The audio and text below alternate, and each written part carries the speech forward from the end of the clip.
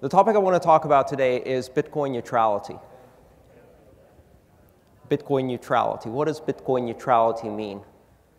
Neutrality in Bitcoin means being able to adopt Bitcoin in any culture, any language, any religion, any geography, but also any political or economic system.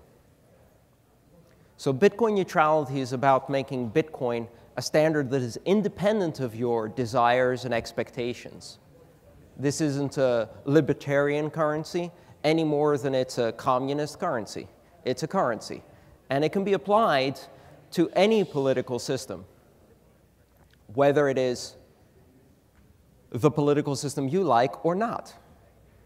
It's a neutral currency. So, what does neutrality mean? Neutrality doesn't mean no principles. Neutrality is a principle in itself. And in fact, what I'm here to talk to you about today is that neutrality is the most important principle in Bitcoin. And most of the other great things derive from that. If you want to really understand how neutrality will affect Bitcoin in the future, we need to look at what has happened with the internet and TCP IP in terms of neutrality. On the internet, anyone can publish with the same voice that Time Warner and CBS and ABC and CNN have.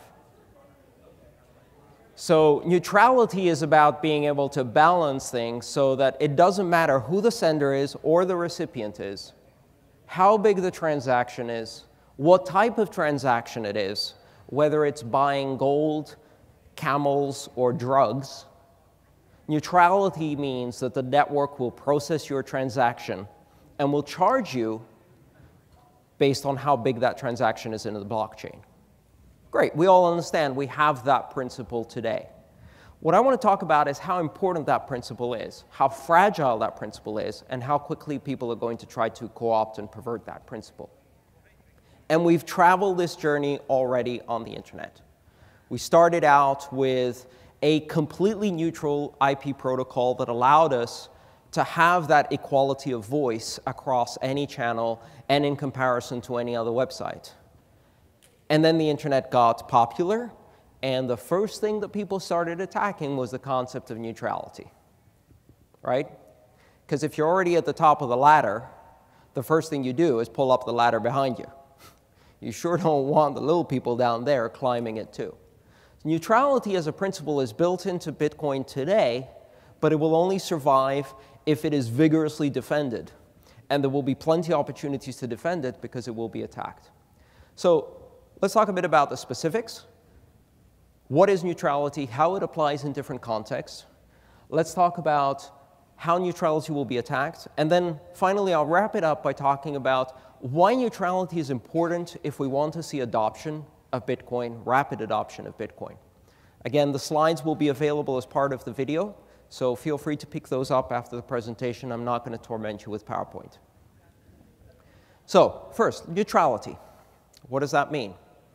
We tend to think of Bitcoin in the terms of our own personal experience. And as far as I can tell, most of the people here come from a first world economy, probably this first world economy.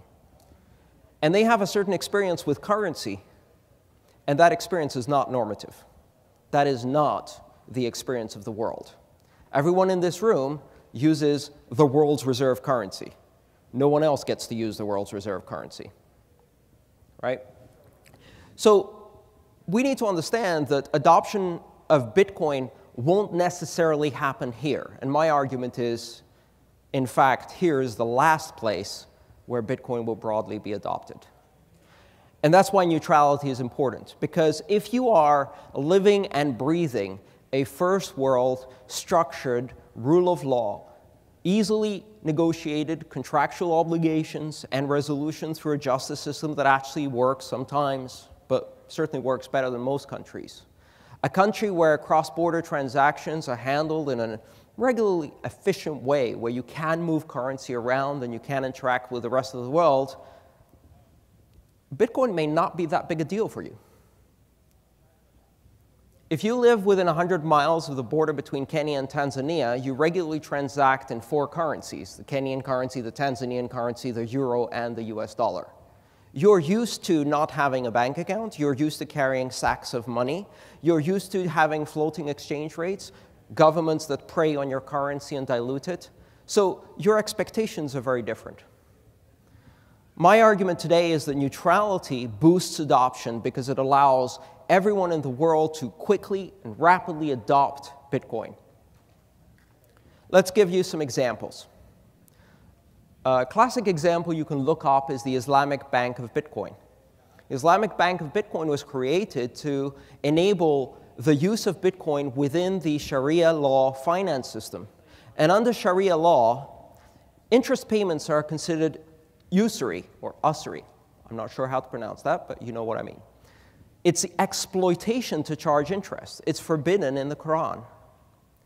So banks in the Islamic world do not charge interest. What they do instead, and this is a bit kind of a semantic thing, but they enter into joint ventures with companies that they're offering loans to, and then they collect dividends back. And those dividends have a specific dividend schedule, which might be, say, a 3% every year dividend smells like interest, walks like interest. But the important thing is that there are certain rules and regulations as how to use currency in an Islamic system.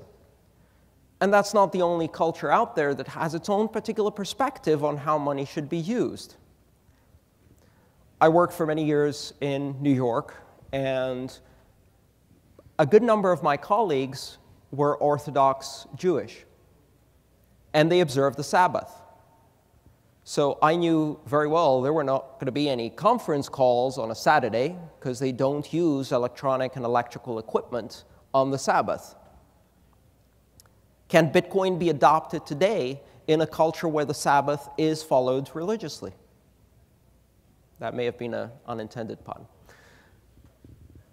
Can it be adopted in that environment? Only if you have a means of exchange that doesn't depend on electricity and we need to think about that.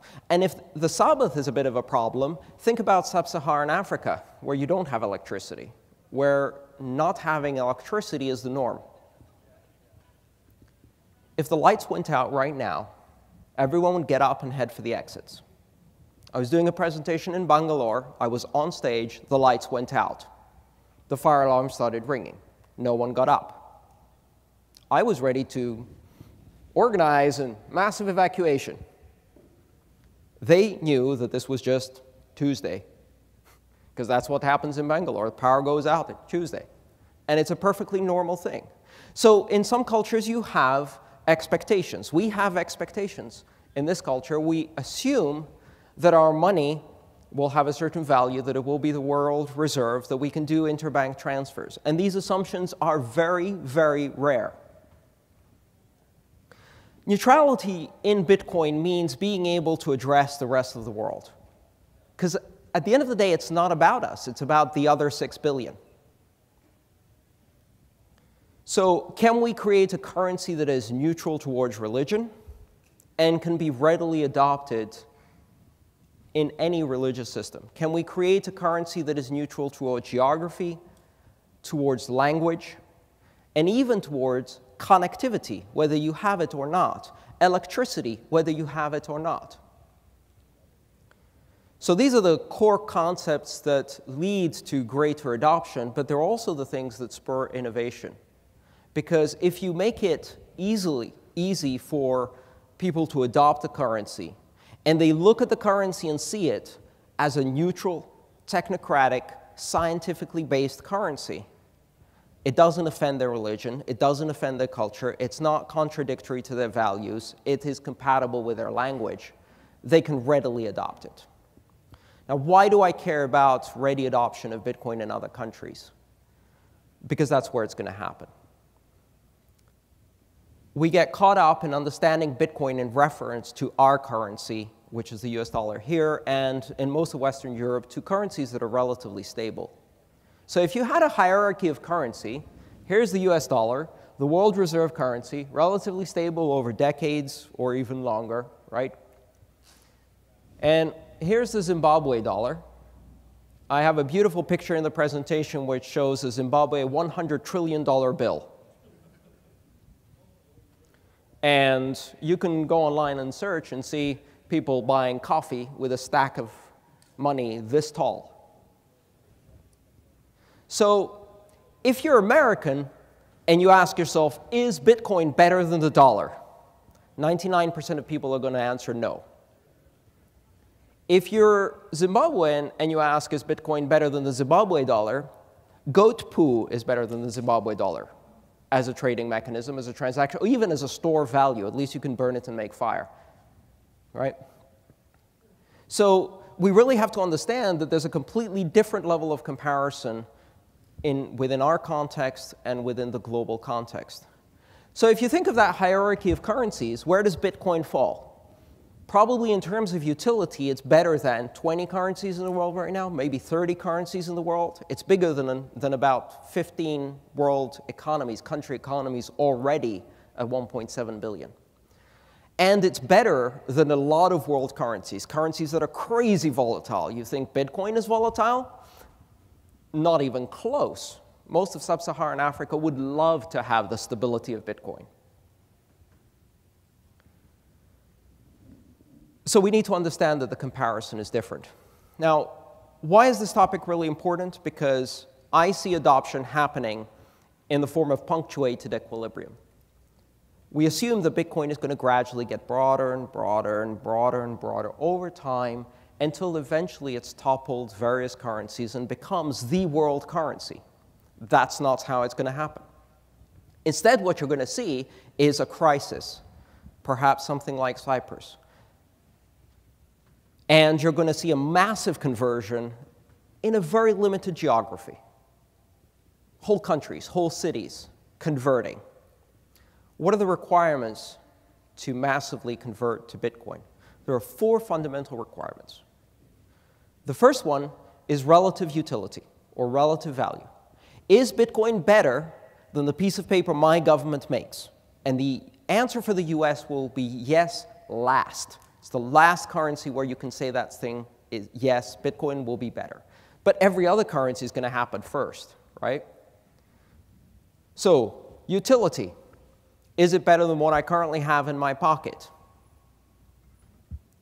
Two, will I get jailed or shot for holding Bitcoin? We don't think about that. There are plenty of countries in the world where if you do not have the currency, you are a smuggler and there is no due process, right? So you get shot for holding Bitcoin. That's a bit of an impediment. We don't need to worry about that. You know, someone issues a suspicious activity report on us, at least we can argue about it. There's no suspicious activity report in Zimbabwe. They shoot you, right? Or maybe not Zimbabwe, maybe some other country. These things happen. So can you safely hold Bitcoin? Is it worth more than the currency you currently have in your pocket? Do you have the technology within your country to adopt it? That's very critical, right? We all have smartphones, we have internet connectivity, we have always on internet connectivity. That is not the case. So I don't expect Bitcoin to be adopted in Zimbabwe, not because it's not more valuable, but simply because they don't have the means to be on the blockchain even occasionally, or even be with electricity occasionally in order to take advantage of Bitcoin at that level. So, utility or value, um, fear or lack of fear in the adoption of the currency, and technology. Do you have the necessary technology? And the fourth one is neutrality.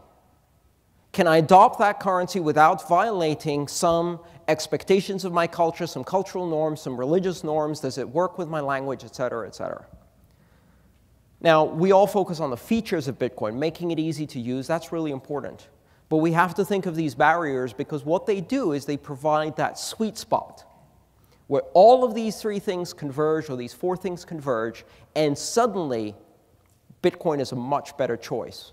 And when you reach tipping points in technology, what happens is massive viral adoption.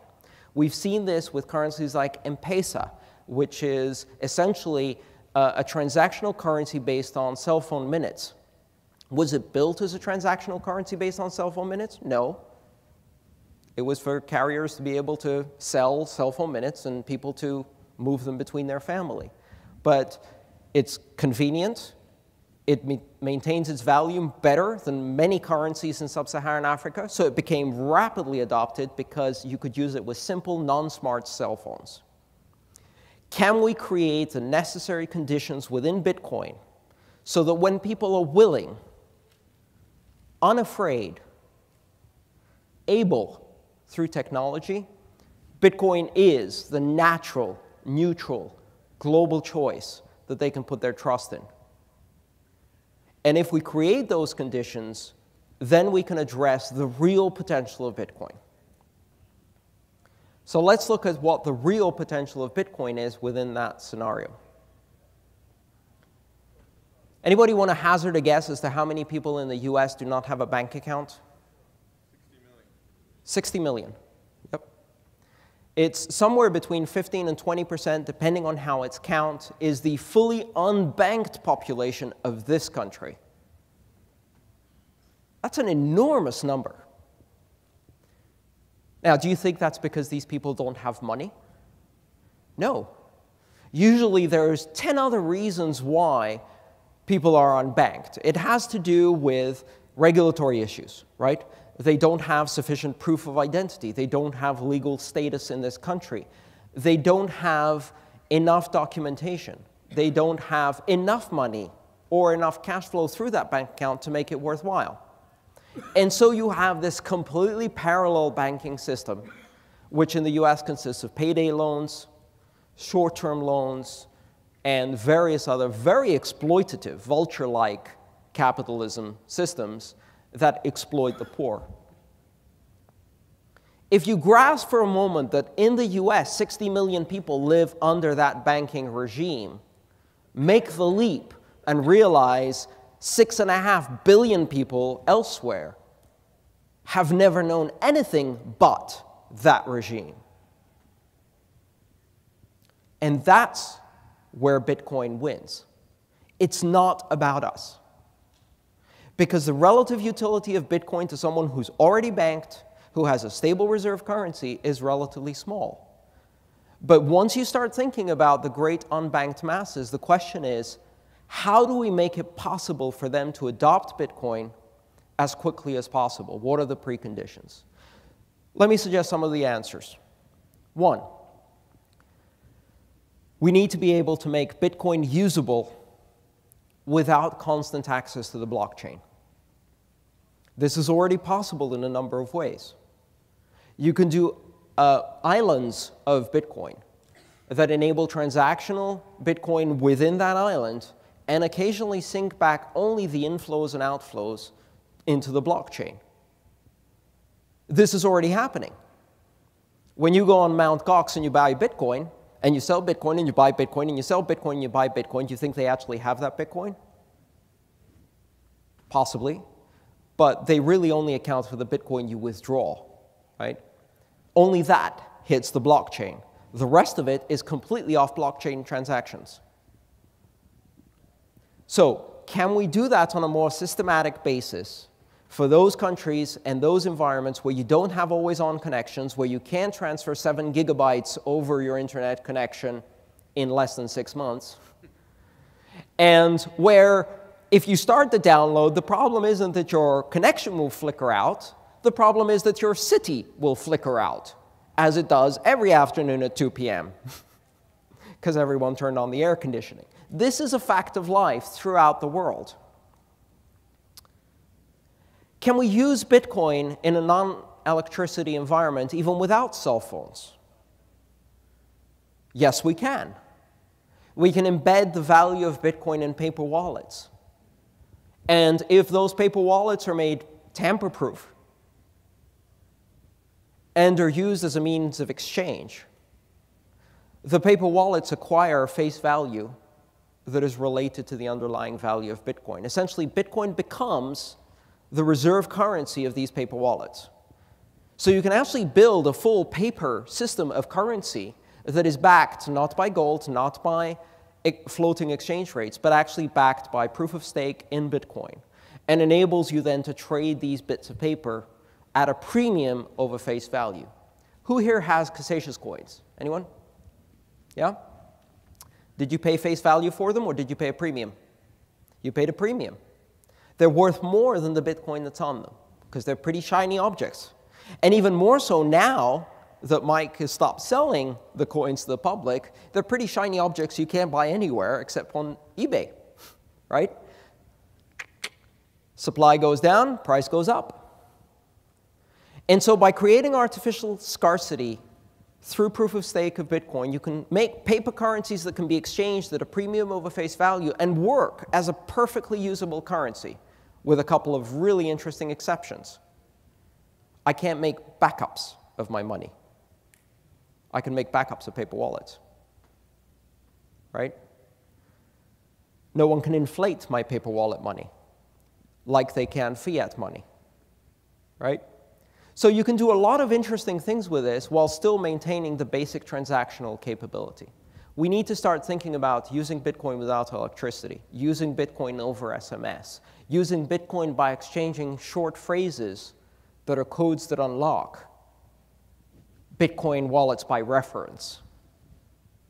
And so that kind of thinking leads us to create the exact right conditions so that when a country suffers a currency crisis, the answer is not to put all of grandpa's money in a suitcase and head for the nearest border. You see my name? It's long and unpronounceable. It's Greek. I know all about suitcases of money leaving a border. My parents spent nine months standing in line at a bank transferring the maximum 10,000 euros a day every single day with 5,000 other people standing in line to do the same thing. It's a, can you imagine a bank run, a run on the banks that lasts nine months, like slow motion? You slowed us down, but we're sure we're not leaving our money with you. We're going to take it out slowly? Sure, fine. So you have every single family having Nikos standing in line in the morning, Maria switches in the afternoon, until Kostas manages to get into the bank, grab the 10,000, and wire it out of the country. I now run an investment fund, which is my parents' retirement. I didn't want to do that, but we're not keeping it in euros in Greece. People are accustomed to conditions of extreme difficulty in the world. And if we think about Bitcoin in the terms of a first world country, we're missing this tremendous opportunity that exists around the world to elevate the other six and a half billion, the great unbanked masses. And to them, this is a very compelling proposition because they're comfortable with extreme volatility, they're comfortable with suitcases of money crossing the border, they're comfortable with law that applies according to what the police person said and how much you bribed them. We're getting comfortable with that concept too. But for most countries, that's the reality. So, in summary, neutrality, which is an underlying principle here, is one of the four necessary conditions that are required in order to see worldwide rapid, bursty adoption of the currency. It's not about whether Bitcoin will be adopted or where it will be adopted or when it will be adopted. The only question is will we be ready as the Bitcoin community for the influx of millions of people, for the use of Bitcoin in new scenarios at completely different transactional rates. If you were here a couple of days ago at the GigaOM session, a gentleman from India stood up and said, Hey, I like your 0.001 transaction fee, but your microtransaction is sending a dollar. My microtransaction is sending 10 rupees. That's 0.1 of a cent, right? Whole different perspective. Our microtransaction is a transaction in India. Their microtransaction doesn't have a word. So we need to start thinking of scaling from femtotransaction to gigatransaction and a whole different concept of what pocket change means. We need to be able to develop technology around Bitcoin that enables electricity less, communication less, transfer of value. And finally, we need to make sure that as we go forward, and very many forces that are not supporting Bitcoin because it's not in their interest, as they try to pervert the core neutrality in the protocol, we work hard to preserve those principles. So anytime you see a change that is suggested in the Bitcoin code, in the Bitcoin protocol, in the Bitcoin payment systems, ask yourself this. How does this change affect the core principle of neutrality? How do we make sure that neutrality as a principle is adopted so broadly that it can't easily be attacked? In 1992, the internet had its AOL moment. Those of us who were on the internet before called that Black Monday. It was the day that AOL dumped 11 million noobs onto the internet. And of course, everyone who was already on the internet was absolutely horrified. Because noobs didn't know about spam, they didn't know about netiquette, and they did, well, you know how it goes. But that was an inevitable situation. It was an absolutely necessary thing in order to get the internet to mainstream. What we managed to do on the internet was maintain the principle of neutrality long enough that it got as broadly distributed as it is today, and now neutrality is baked into the system to a level where even if it's attacked, the attacks fail. And why do they fail? Because when you compare the value of a decentralized system to the value of a centralized system, the decentralized system always wins. It always delivers better value and better efficiency to everyone, right? Centralized systems only benefit those who are at the center. If we take the internet and make it broad, neutral, as we did, great. By the time the carriers tried to make it unneutral, by the time they tried to buy priority access on the internet, it was too late because it's distributed broadly enough that the endpoints resist centralization. Who are the endpoints? We are, right? We resist centralization. And we resist centralization whether we know it or not because we see the value of neutrality as expressed through the ability to blog as loudly as CBS, to share our opinion and create grassroots revolutions on Facebook, right? Those principles of neutrality translate into power, and we're not about to let go of that power, even if we don't know how it relates to neutrality. Bitcoin is neutral today. It will be neutral for as long as we fight to keep Bitcoin neutral as long as we resist attempts at centralization and co-option. If you see people trying to make sure that transactions on Bitcoin can be prioritized in a way not per the size of the transaction, but based on who the sender is or who the recipient is, scream. Because that violates the principle of neutrality, and that principle of neutrality is the most important and valuable characteristic of Bitcoin. So, to wrap up, neutrality will lead to adoption. It's one of the four preconditions to adoption. We need to address the other three. We need to make sure that we can easily demonstrate the value of Bitcoin over national currencies where that value is clearly identifiable. We need to make sure that Bitcoin can be accepted because it is able to work in an environment without electricity, without communications, etc. We need to make sure that people can use Bitcoin without getting jailed or shot. One of the great reason, ways to do that, support Bitcoin charities. Beyond Enterprise, really, really cherish the gift economy we've created with Bitcoin and support Bitcoin charities. When a legislator runs out against a campaign that says, if you kill Bitcoin, these kids starve. This puppy goes to a kill shelter, and this bear in China doesn't have a future and goes extinct. That's a much better message than Bob the speculator won't make enough money. Invest in charities because that enhances the concept of neutrality and makes it concrete. Finally, when these changes happen and when you see this massive adoption, you're going to see again attempts to violate the neutrality, and we need to resist those.